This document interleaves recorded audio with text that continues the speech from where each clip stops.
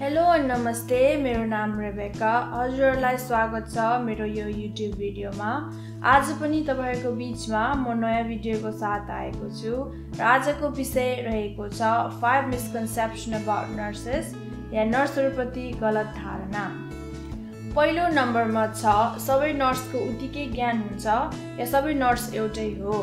यो गलत हो किनकि नर्सिङ भनेको एकदम डाइभर्स फिल्ड हो यहाँ धेरै प्रकारको नर्सहरू हुनुहुन्छ आफ्नो एजुकेसन अनि आफ्नो स्पेसलिटी हेरेर। जस्तै लाइसेन्स प्र्याक्टिसिङ नर्सहरू या एलपिएन या एलबिएनहरू उहाँहरूको एसोसिएट डिग्री हुन्छ अनि उहाँहरू प्रायः nursing home rehab home health अनि डक्टरको अफिसमा काम गर्नुहुन्छ।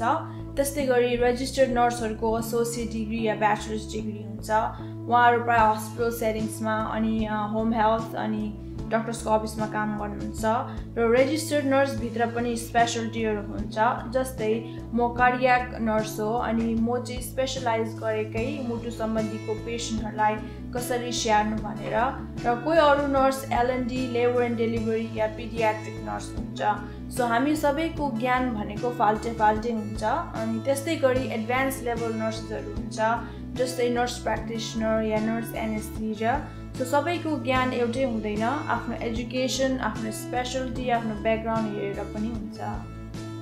दोस्रो नम्बरमा छ नर्सहरू डक्टरको अन्डरमा मात्रै काम गर्छ। अन्डरमा भनेर भन्नु मिल्दैन। हुन त हामी डक्टरको अर्डर्सहरू फलो गर्छौँ या क्वेसन पनि गर्छौँ तर एउटा बिरामीलाई स्याहार्नुको लागि डक्टरको मात्र हात हुँदैन।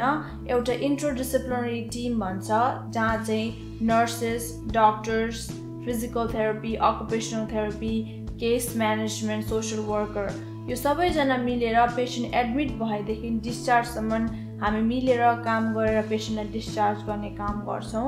यस कारणले गर्दा डक्टरको अन्डरमा मात्रै हामी सबै काम गर्ने होइन।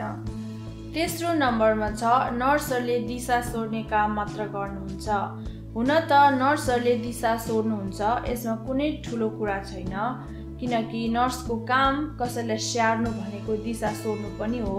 तर नर्सहरूले दिशा मात्र सोध्दैन नर्सहरूले अरू काम गर्छ जस्तै दबाई दिनु दबाईको बारेमा एजुकेट गर्नु पेसेन्टको डिस्चार्ज गर्नु एडमिसन गर्नु पेसेन्टको कसरी हेर्छ उसको घाउ सफा गर्नु आइभी लाउनु यस्ता धेरै कामहरू गर्छ र ती कामहरूमध्ये दिशा सोध्नु पनि एउटा काम हो।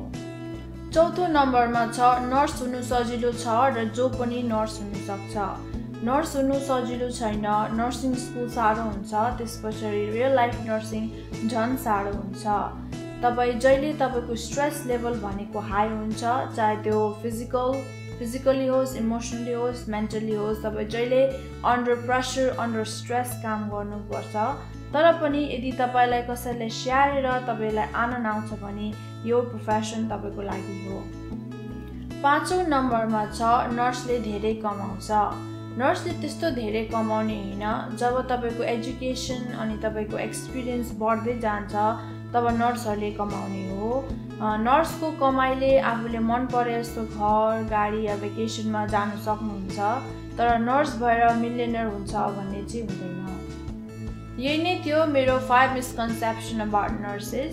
अरू पनि धेरै मिसकन्सेप्सन या गलत धारणाहरू छ नर्सहरूप्रति तर मैले पाँचवटा मात्रै ल्याएको थिएँ। तपाईँलाई मेरो भिडियो कस्तो लाग्यो प्लिज यसलाई सेयर गरिदिनु होला सब्सक्राइब गरिदिनु होला र कमेन्टमा सल्लाह अनि सुझाव दिनुहोला। अर्को पालि म अर्को भिडियोको साथ आउने नै छु। Till then take care be safe bye